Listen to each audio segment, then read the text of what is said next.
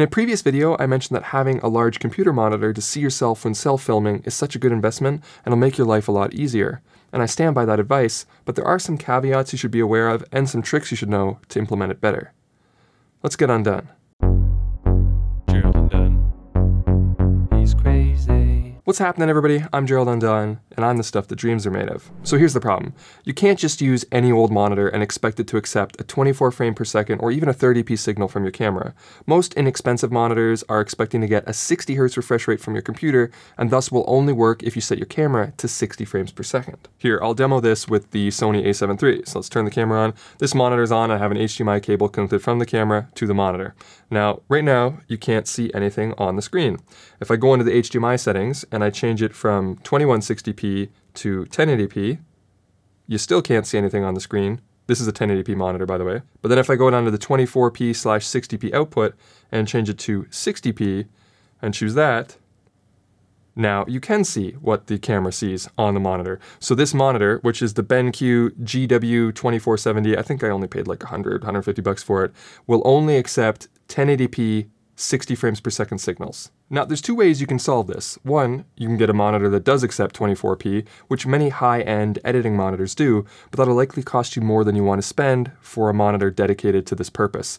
Unless your studio is set up in a way where it can serve a dual purpose, shooting and editing. In that case, both of the monitors that I use for post-production, the ViewSonic VP3481 and the BenQ SW271, both accept 24p. But there are some cheaper models you can get too. I reached out to a few different brands to see who was offering quality panels that accepted 24p at a good price, and one of the best options I came up with was BenQ's EW line, including the EW 2780Q, the 2780U, and the 3280U, the cheapest of which is only $299 for a 27-inch 1440p IPS panel that does 99% sRGB with a Rec 709 profile. Now, this video is not sponsored by BenQ, I just like their panels and thought this one was a good value for this purpose. Now I opted for the 2780U, which is the 4K version of the panel. It's pretty much the same as the Q version, but the price does go up quite a bit for that 4K to around $550. Now there is still one advantage to going for the $1,000 or more editing displays, which is that they allow for hardware calibration, meaning you can color calibrate your screen with your computer, but the profile is stored on the monitor instead of on the computer. So that way it'll work with your cameras as well, where the more affordable options I'm recommending only allow for software calibration, so they won't be perfectly color accurate when connected to a camera. But to be honest, that's not that big of a deal to me because I don't do my color work until post anyway, and I'm using this monitor more for focus and framing and monitoring my presentation, and I'm not really looking at the color. As long as it's decent out of the box, which these are, I think that's sufficient. Now there is another route we could take if we wanted to stick with using a screen that doesn't accept 24p, and I'll get to that right after I tell you about the sponsor of today's video, Storyblocks. Have you ever found yourself in a situation where you could really use some footage, but shooting it yourself was either budgetarily impossible or logistically unfeasible? Well, Storyblocks has you covered with an impressive collection of stock footage covering a wide range of subjects with unlimited downloads and 4K video. They're also amply supplied with backgrounds, overlays, and After Effects templates, and the interface is easy to use and navigate, and the clips are royalty free for both personal and commercial use, so you can use them as much as you want, wherever you want. So if you think you could take advantage of a fantastic library of quality stock footage and effects, check out Storyblocks using the link in the description below. So as I was saying, this monitor here only accepts 1080p 60 from my cameras, but if I want my camera to record at 4K 24, some scaling will need to happen over the HDMI. Now some cameras, like most Sony mirrorless cameras, will allow you to scale both the resolution and the frame rate right in the camera menu, which I showed you a minute ago, allowing you to output 1080p 60 from the HDMI even though the camera is recording 4K 24. But doing this causes problems on all but the newest Sony models, where you lose functions like face detect autofocus while performing the scaling. And most other camera brands only allow you to scale the resolution and not the frame rate. This also applies when using something like an Atomos recorder as an in-between step. You can have the Atomos scale the output resolution down to 1080p, but it won't touch the frame rate. So this is where you need to buy a separate scaler box.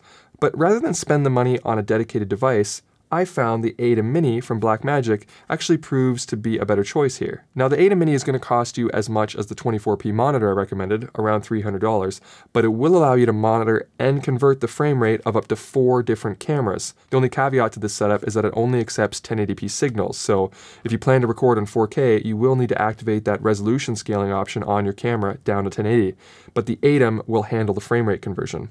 But that still means you're going to lose face detection on older Sony cameras, but that's that's just a camera limitation and can only be circumvented by running it through an external recorder first and recording on it instead of internally on the Sony. But anyway, the other benefit of scaling with the ATEM Mini is that it doubles as a capture card. So you can then easily live stream those same cameras whenever you want by just connecting a USB cable from the ATEM to your computer, making it a much better value than buying a bunch of scaler boxes just to make an old monitor work for this purpose. In fact, even though I'm using the 4K BenQ monitor that supports 24p signals, I still have the ATEM Mini connected to it for that exact reason. Here, let me show you my regular setup. We'll set this camera up so you can see what I usually see when filming. Okay, so this is what I normally see when I'm sitting where you guys are now and looking this way. And I hope this sounds okay. I just kind of lazily pointed my microphone this way. I hope it sounds all right. Anyway, so this is the 4K BenQ monitor that I recommended, the $550 one. And beneath it here is the ATEM Mini all connected. And I've also got the overhead rig connected, the one that's up there shooting down, and that's on port two. You can also see it over here, and we'll talk about that in one second. And on one here, we've got the Blackmagic, which is running via HDMI into the ATEM Mini. And I don't have to worry about any scaling on the Blackmagic because the HDMI port is always 1080. So it goes in fine to port one. And I have the info display on so I can see the stats of what I'm doing and what I'm shooting. And as you can see right now, we're shooting 23.98 frames per second. So that frame rate isn't being converted by the ATEM because this monitor can accept it. But we could be using the cheaper monitor here as long as we have the ATEM because it can convert it from 23.98 up to 60p for the cheaper display. But in this case, this is great because I have the versatility if I want to shoot 30p or 24 or 60, all of them can be accepted and I don't have to worry about converting. I could plug right into the monitor if I wanted. But the convenience of having the switcher is handy here where if I want to switch over to the overhead rig and get a closer look at me moving some stuff around on the table and then switch back here and make sure I'm framed up and in focus. Now, because the overhead camera is a Sony camera, I'll give you a quick little tip about that using an Atomos in between step. If for some reason I wanted to do face detection on the overhead rig, or maybe if I had a different camera connected over here that was a Sony camera with those face detection problems, I can use the 4K 24 only output, which means it doesn't record internally and it only records externally, and have it recorded here, which is what I do. I record on the Shogun and not on the camera, so I don't have to fiddle with the overhead rig every time I want to record. And I also get to take advantage of DNX instead of the small codecs built into the Sony. But anyway, it goes in here via HDMI, and this would allow me to keep face detection. And then out from here, I have it scaling down to 1080, which then goes into the ATEM under port number two. And I have two more different camera configurations that I could set up and switch between and monitor them if I wanted to. And best of all, when I'm ready to live stream, I can just take my USB-C cable here, connect it to the ATEM, and then run this long one out to my computer, and then I can live stream as easily as that, and I can just put the ATEM up on the table if I want, and switch through it that way.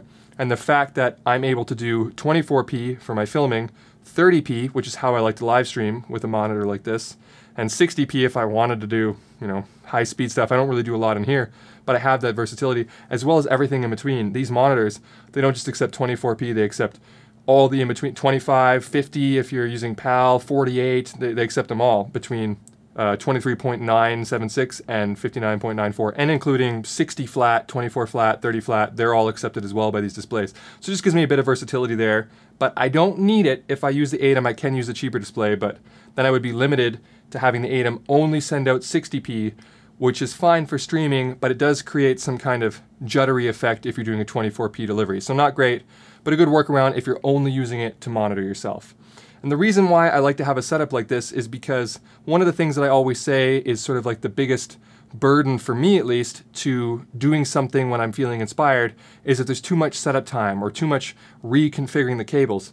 All of the cables for this are permanently managed and sort of locked down and it's so easy for me to switch between streaming, recording, overhead because everything's in the same place and if you have that option it really makes it a lot easier to just jump in and do a live stream or start a recording as soon as you feel inspired without having to set everything up. And this kind of configuration makes that a bit easier. Now I realize my configuration is a bit more complicated than it needs to be to simply see yourself on a bigger screen while shooting. And if that's all you're trying to do, again, just find a monitor that'll accept 24p like the one I recommended.